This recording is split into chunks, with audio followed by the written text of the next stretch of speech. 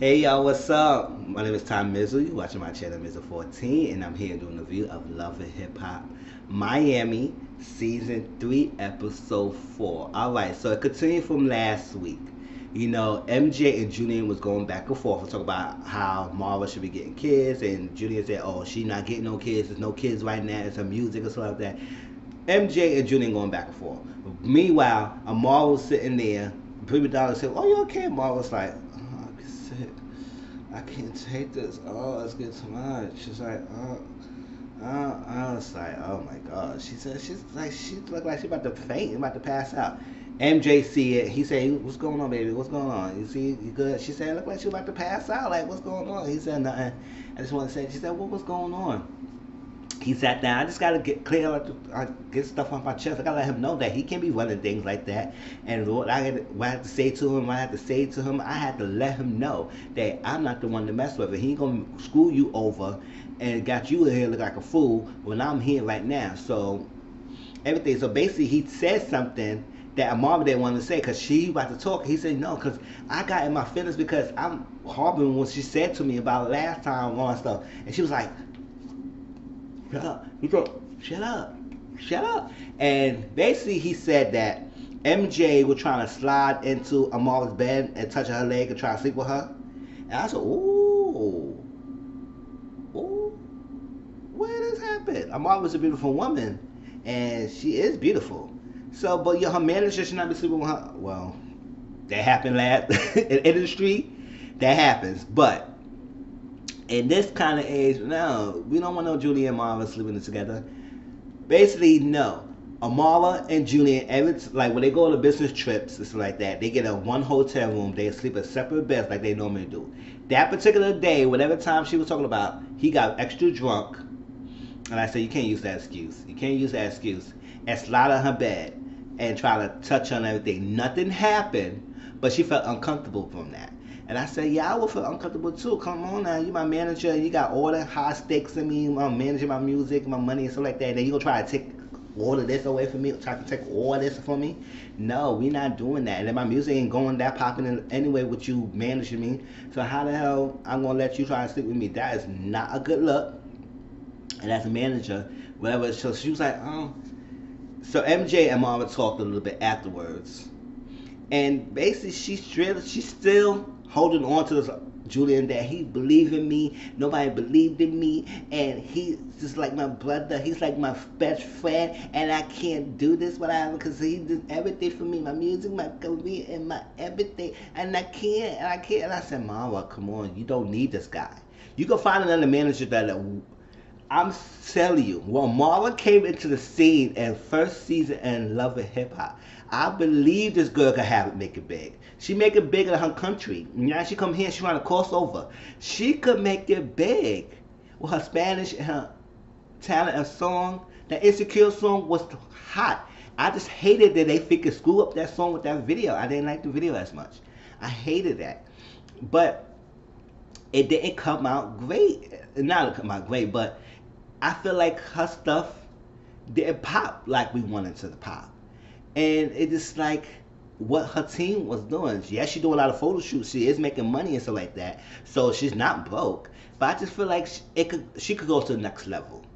She could get there. She could get there with a right team, with a right songwriters, and right producing, and right managing, and good videos and good songs. She could be good. It's not that much competition for her right now. Well, well, in some way, shape, or form, it is a little bit, but it's she could make it. She could make it. Make it. And it's a beautiful woman. Beautiful black woman. So it's like Afro Latina woman, like she said it. So I believe she can make it big. She needs to find the right person, and that man, that Julian is not right because he has a bad reputation. He mismanages Trina. He don't really know who he is, and it seems like he's a perv, and it's it's just too much. It's everything is all red flags with Julian. Um, Julian and Amara is just so stuck on that he's believed in me. He's the only one who believed in me in my music and my stuff like that. So MJ said, "What we gonna do from here?" No, MJ. Amara asked, "What we gonna do from next?" So MJ said, "We gonna go to your lawyer." And see what's up, what's going on, and see what we could do with it. He keep putting himself into we, we, we, we. I said, boy, you just a boyfriend. You better push it aside. Boy, you just a boyfriend. You not her man. Well, her boyfriend, but you're not her husband. So with all this weed coming into it, it's like yes, you're trying to be the long one and everything, but let her do what she had to do. But you're just gonna be there, her boyfriend, and let her know. So Amara and MJ met with her lawyer, Matt. And Matt said he sat down and he spoke to Julia's lawyer. This fool Julian is he's a just fool Julian. He's a snake, and now Marvelous realizes that he is no good because I learned something. I learned something because I'm really not into King with the entertainment business, but I do know a little bit is that when you have a manager and you break ways, you have a contract, and sometimes the contract negotiates what kind of leverage you have with the person's music. Sometimes, like for example, Destiny's Child. Matt Knowles still owns the name Destiny's Child. Beyonce, Kelly, and Michelle could still come together and sing together, but if they ever use that name Destiny's Child, he still owns proceeds proceeds of whatever they do with that name and everything. So I don't know if they trying to buy that name out. No, no, they're not a group now. But every time they come, there, you should say, "Oh, Beyonce with Kelly Michelle," or Kelly with Beyonce Michelle, or Michelle with Kelly Beyonce. And sometimes they use their names. Destiny Child. That it is that he still has ownership of that name, and he still get paid for whatever they do together as the group Destiny Child, right? Not like if they come support and be a featuring, but as a group, he still owns that name. So he still has ownership to that. Just like a lot of other producers have ownerships to person's music and stuff. So I know a little bit about that. So in the contract, Matt told Amara that Julian want hundred percent of the masters, the music, anything they had developed that five years playing, that he she he helped manage. He 100 percent of it. I heard 100 percent. That means she have a lot. If she had a lot of 30 plus songs that she never released, he has ownership to it. He could release an album without her, permission because he has ownership to it. 100%, you're going to take 100% of her masters. So that means nothing that worked them together is on her control. She can't take none of her music with her. Well, she can, but it's, if she does, he will still have some ownership to it. I was like, wow. So he said he gonna do as much as he can to make. The lawyer said he gonna do what best as he can to make sure it works a way that you won't get nothing. And it goes in your favor. Because she said, I can't believe it. You trying to do this to me. You trying to betray me because I thought Julius my friend. And he was my friend. I said, well, you can't be friends with managers like that. Especially when you have contract and you got money involved. Sometimes you got to add on that that friendship has got to be a little bit leeway. It's got to be a little bit. You can't use that too much because at the end of the day, friend and at the end of the day, he is your manager. So it is the professional guidelines he had to follow. And that lines could be blurred between friends and manager that could take advantage. And that's exactly what's probably it is like now. After going almost like almost 10 minutes with Marvel. But the rest of the episode wasn't one that, so it is what it is to me. Alright, so Hood Brat, you know, they was at the still at um Briscoe party Hood Brat told Suki and say, listen, because Brat is cool with Suki. They're good friends. Now, Nikki was doing all this popping to Hood Brat, not knowing that they're good friends. Hood Brat and Nikki only cool a little bit, but they're not that cool. But when she was going on, he said, I'm better than all these females and everything. So Hood Brat said, you better Suki? She said, yeah, I'm better than Suki now. I said, no, you was not. Girl, you was elementary. Suki was okay. Suki was good. She did this. She came performing. She did everything. She did her thing. I still trying to understand what the hell she was saying, but I know she was saying something freaky. Cause Suki, every Suki say something freaky. So you didn't do better than Suki at all. Not in no way, shape, or form. For you to be all like, yes, you gotta have confidence as an artist. You gotta have a confidence. You gotta have that confidence. But to put down like artist to bring yourself up, that's not good look at all. I'm not gonna go out here and try to put down some other artist just to make myself look good. So, oh well, I'm better than her. She can't rap. She can't sing. I do this better than I said, no, I do my best as I can. I have great, I like fans who love my music, and I'm going to tune you on and best success for everybody else. So, her brother told Suki, Suki was like, oh, okay. So she went to the table, say hi to Briscoe. She said hi to Shay. She said, um, Nikki. Talked to Nikki and they said, listen, I'm heard that Hoodbrat told me this, and Hoodbrat told me that. Is it true that you said this? Is it true that you said you're better than me? All that stuff. And it was like, at the end of the day, so Shay said, well, it's not it's not bad for her to bigger herself, but I don't think she's trying to throw you or put you down. Because she said, nah, I will be, it was say, I will be what, not, throw none of us a person in the bus. I will be what own up to the set and say, good, I did my thing, and good luck to everybody else. I will be what do that. I will be not to put somebody, um, put somebody down. And Shay got in the middle of it. I said, Shay, it was not your battle. Nikki has mouth. She, Nikki had mouth ever since um, that Trina episode. She has mouth, so she could defend herself. She don't need you. The fact you put yourself in the middle made Suki fire at you, and now you said I always I always respect the underdog. I didn't like how Suki came and come out Nikki everything. I was like, why is your battle? Tang, why is your battle? Why is that is your battle, girl? I don't understand. Shay, I don't understand Shay. I mean, don't understand Tang. Come on now. so they got at it. And she said, mind your business, I mind your business. Meanwhile, Suki had left the phone on the table. But they was going at it. Suki did something and just flapped her thing at Shay and they went a little bit. You know, Shay always grabs something I said, you can't fight Shay she never gonna have no souvenir of you. She got wigs, things, all that stuff on her hand. So she took a piece, she had a piece of Suki's blouse thing that was hanging on her arms. And she took a piece of that, she ripped that off. And then Suki was going off. She said, ah, you animal, I'm gonna call animal troll. I said, yes, she's an animal troll. And I said, orangutan, you need to put her back in the zoo. yes, I told you she's animal control. She's ugly. yes, call animal control Now, we better get them here. Tranquilize that chick and kill her to sleep. She to go to sleep so you go back to her freaking habitat. I like, so, um, uh, Ugly. While they was beefing and doing all this craziness, Nikki snatched the phone. And we didn't see it at the time, but they did a playback. Nikki, Nikki, I said sneaky. See, that's what it was. She was sneaky at that time. Nikki took Suki's phone and took it with her. I was saying, wow, you gonna steal somebody's phone? Really, girl? Really? So they're going on back and forth. They ended that. That was the end of the party. Next was, so Prima Pigley, aka Jocelyn Words, Prima Donna. Prima Donna is having a launch party. She want to let everybody know about her freaking waist trainer, her pressure cooker, her seasons, and so like that. I said, well, they showed all that items at the end of, uh, end of this episode. It looked like they was all generic. I was like, what is this? Uh, what is the brand? I don't even see the brand name on it. I don't know. Maybe I, it wasn't on it. It just looked too bland to me. It looked like another bottle that just plastered her name on it. So, um, so she had a launch party, and she met up with Tip and her and Tip talk about talk a little bit, and Tip feel like she just left her, like she just left Miami, just forget all about her friends. She said, "I'm sorry if you feel like." I said, "No, see, that's not apology."